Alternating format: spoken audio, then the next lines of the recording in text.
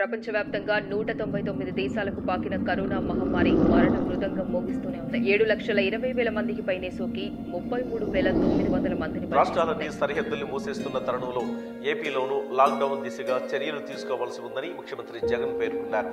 ప్రజలు ఎక్కడి వారు అక్కడ నిలిచిపోవడం ద్వారానే కరోనా అంతు చూడగలమని ఆయన వివరించారు. నిన్న ఒక్కరోజు చేసిన రెండు వందల ముప్పై ఏడు మంది కరోనా కారణంగా ప్రాణాలు విడిచారు. ఆదివారం నాడు కొత్తగా పదిహేడు వేల ఆరు వందల మందికి సోకింది పబ్లిక్ ట్రాన్స్పోర్ట్ సర్వీసెస్ అన్ని కూడా కట్టడి చేసే కార్యక్రమం మనం కూడా చేస్తాం we're moving towards lockdown పరిస్థితి.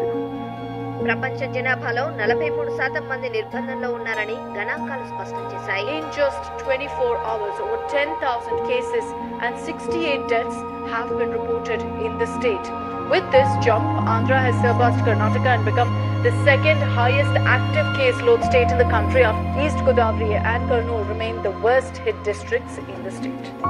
ఏపీలో కరోనా కల్లోలంతో మృతుల సంఖ్య రోజు రోజుకు పెరుగుతోంది. నెల్లూరు జీజీహెచ్ మార్చురీలో కుప్పలు తెప్పలుగా మృతదేహాలు పడి ఉన్నాయి విజయనగరంలో అత్యధికంగా పదకొండు మంది చనిపోగా చిత్తూరు జిల్లాలో అత్యధికంగా రెండు వేల రెండు వందల అరవై పాజిటివ్ కేసులు నమోదు కాగా అత్యల్పంగా ప్రకాశం జిల్లాలో మూడు వందల ఎనభై ఐదు మంది కరోనా బారిన పడ్డారు.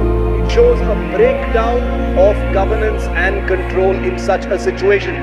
ఒకసారి తెరిచిన గేటు ముయ్యడం లేదు.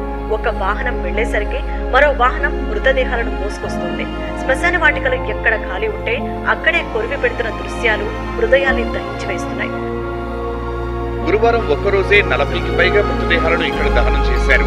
ఆసుపత్రుల నుంచి అంబులెన్స్లు నేరుగా ఇక్కడకు రావడం అందులో ఉన్న మృతదేహాలను వరుస పెట్టి దహనం చేయడం సిబ్బందికి తలకి మించిన భారంగా మారింది.